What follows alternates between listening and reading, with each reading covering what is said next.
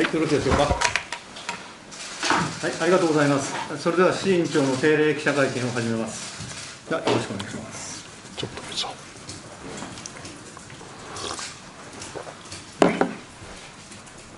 あそれでは定例会見を行います。あの私の方から冒頭一点発言をいたします。あの日本学術会議に対するう不当な人事介入の問題がいよいよ深刻化してきたと思います。で、端的に言って、あの日本学術会議法に反する問題点が幾重にも出てきたと。4つほど指摘したいと思います。まず第一にですね、あの首相が、えー学術会議からの推薦した方のお一部を、まあ、任命を拒否したということ、そのそれ自体がですね、えー任命の拒否は決して行わないという政府自らの答弁を覆すものであって、学術会議法違反であります。これは第一点です。から第二にですね、その理由として、総合的、俯瞰的な立場からあそういう対応をしたんだということを述べております。しかし、日本学術会議法でのあの推薦の基準というのは、ただ一点でありまして、優れた研究及び業績を持つ方を推薦すると、こうなってるわけですね。優れた研究及び業績。これが唯一の選考基準なわけです。そこをですね、あの総合的、俯瞰的な立場と、別の基準を、えー持ち込んで、えー任命の拒否の理由にした、これも違法であります。それから第三にですね、首相自身が、えー学術会議からの最初の推薦の名簿を見ていなかったと述べたこと、これは大変重大でありまして、見ていなかったってことになりますと、え学術会議からの推薦に基づいて任命するというふうに法律ではなっているわけでありまして、基づいて任命できなくなるわけですよ。ですから、これも法に触れると。最後に第4点でありますけれども、杉田副長官がですね、あのこの過程に関与していたということが明らかになってまいりました。そうしますとね、えー杉田さんのところで、えー6名の任命拒否を事実上、えー関与していたということになりますと、でこれはですね、えー日本学術会議のお推薦権、あるいは選考権、これを侵害することになる。また同時にですね、あの首相の任命権、この侵害にもなる。ここも法律違反になるんですね。ですから、今数えただけでも4つぐらいの、まあ、法律違反のオンパレードに現状はなっているというのが実態であります。もう幾重にも日本学術会議法違反だと。そしてですね、これが憲法23条の学問の自由に反することは、もう明らかであります。学問の自由というのは、個人の研究者の自由な研究ということとともにですね、研究者のコミュニティの自主性、自律性をきちんと保障する。この両面が必要であります。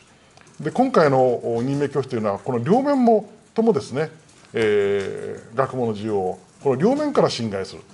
個人の研究の自由という点ではですね、理由も示さずね、ああいう6名の方が拒否されるということになれば、これは個人の自由な研究の、えー萎縮を生む、それを阻害することになることは明らかであります。そして今回の学術会議の人事への介入が、学術会議というですね、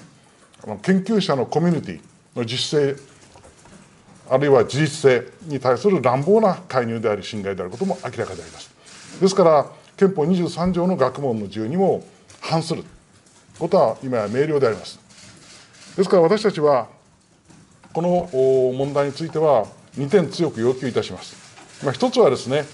えー6名の方を任命拒否をした理由と経過について、国民にしっかり説明をすると、これを強く求めたいと思います。2つ目に、違憲違法な任命拒否を撤回し、6名の方を直ちに任命する、これを強く求めていきたいと思います。まあそういう立場で、国会でも、えー力を尽くしていく決意を申し上げたいと思います。がなおですね、あの政府・自民党のこの問題での対応は、言語道断と言いたいと思います。まあ、簡単に言えば、行政改革の対象にする、こういうことを言い出した。それから、あ自民党は PT を立ち上げて、えーまあ、あり方を見直すというようなことを言い出した。しかし、これは本当に卑劣なやり方であります。今問われているのはですね、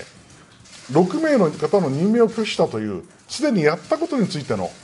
問題なわけですよ。それを今後のさまざまな在り方の問題にすり替える。これは本当に卑劣なすり替えであって、論のすり替えであって、また、恫喝ですね、卑劣な恫喝であると。ですから、これはですね、絶対に許すわけにいかない。いうこともですね、強く言っておきたいと思います。まあ、それをですね、しかもデモを交えて、あるいは不当な印象操作を交えて、そういうバッシングを学術会議に対してやってるということは本当に許すわけにいきません。下村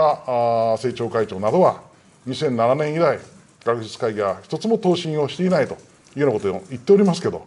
政府が諮問してないんだから、答申が出るはずもありません。であの例えば提言などについては、今年だけを見ても、64の提言をですねやっている、さまざまな分野にわらって国民の暮らしに密着したさまざまなあの科学的な知見をですね提供している。ですから、しっかりとして仕事をされてるわけですよ。そういう実態を全く歪めてね、デマで歪めて、不当な印象操作で歪めて、学術会議のバッシングをやって、でこの際にあのこの会議を自分たちの御用機関にしてしまおうというような企みは絶対に許すわけにいかないと。でこの問題やはり日本の民主主義の問われる本当に大問題でありますから国会で徹底的に究明していく決意を申し上げたいと思います。以上です。はい、どうぞ。はいて。文科省が教職の独立大などの長期や長を表明する求める手を出したということですが、まあ、有識者から時代から時代にそぐわないという考えますけれども、まあ、委員長のご見解あの政府がですね今度の長曽根元首相の葬儀について、大学、それからあ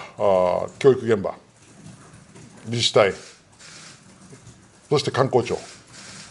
についてに対してですね、えー、弔意を求める、そういう動きをしております。それであの弔意というのはですねあの誰に対してのものであってもですね優れて内心の自由に関わる問題です。弔意を示すかどうかも含めてこれは全て内心の自由に関わる問題です。国家がですねあのそういうような、えー、弔意を求める。あるいは事実上弔意を強制する。やってはならない。ということをはっきり申し上げたいと思います。とりわけ今問題になっているのはあの日本学術会議法を踏みにじって憲法23条の学問の自由を踏みにじってまさに憲法を壊してね不当な学問の自由に対する介入をやってる。そういう政権がこういうあの求めをですね大学に対してやると。いうことになりましたらそれが踏み絵になってまさに大学の自治学問の自由に対する介入干渉にもなってくるさまざまな萎縮を生んでくるということにもなりかねない問題であります。ですから、ますますもって今の政権がそういうことをやるのは言語道断だと強く言いたいと思います。それであのこの機会に表明しておきますが、あの私自身、えー、合同葬へのお案内があのき来ました。で私あのお慶長には党派は関係ないというのが心情でありまして、ですから、あの高等の党首として、えー、合同村に参加して、弔意を示し示しますということで、出席の通知をすでに出しました。しかし、あのこういうですね、あの内心の自由を侵害するような形でのさまざまな問題を現に起こしたということが今、明らかになっている以上は、あの私としてはですね、あの合同葬に参加するわけにいかないというふうに考えまして、まあ、欠席をさせていただきます。まあ、それそのことも合わせて表明しておきたいと思います。はい。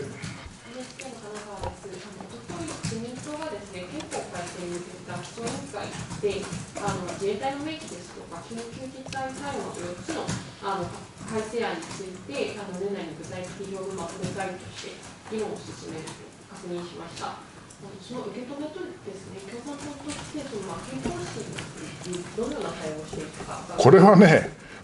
全くもって論外だと。で今現に学問の自由を破壊する介入をやったわけでしょ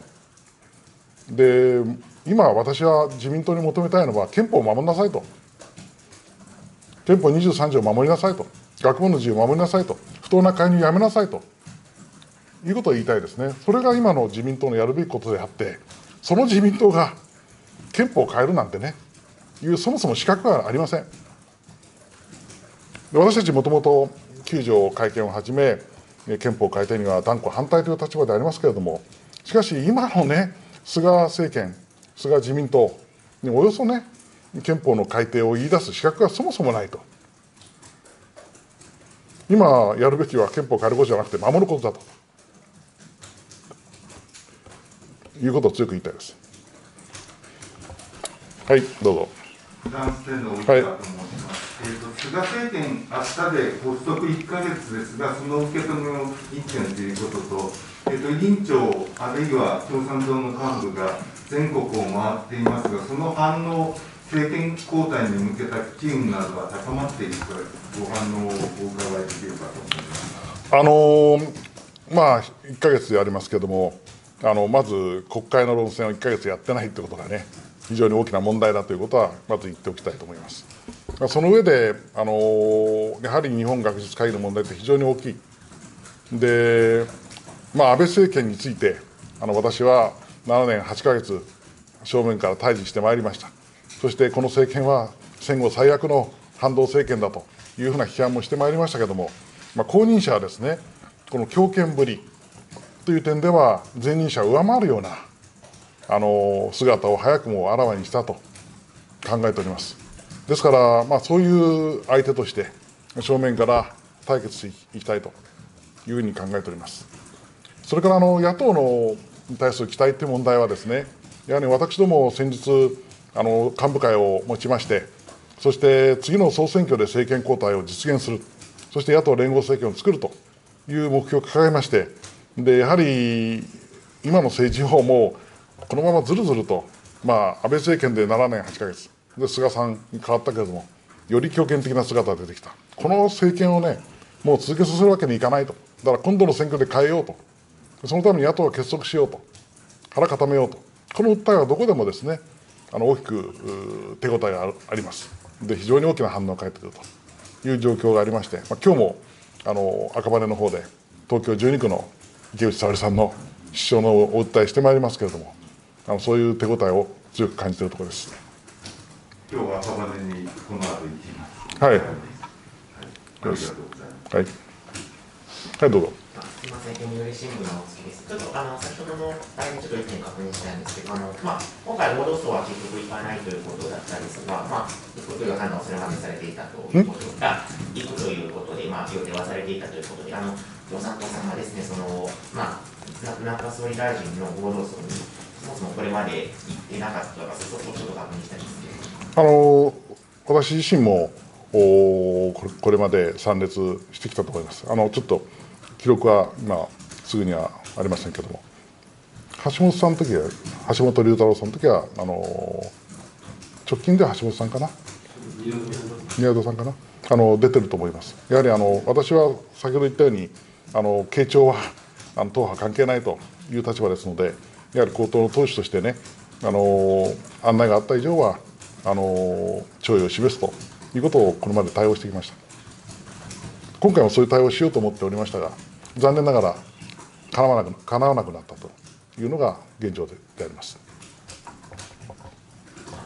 はい。野党共闘のまた話なんですけど、あのまあ野党連合政権あの今度の総選挙に向けたまあ他の立憲さんとかとのまあ政策政権構想とか、まあ、政策協議とか、そのあたりの進捗は、まあ、以前聞いている時から何か進展はありましたでしょうか？いろいろと努力しているさなかであります。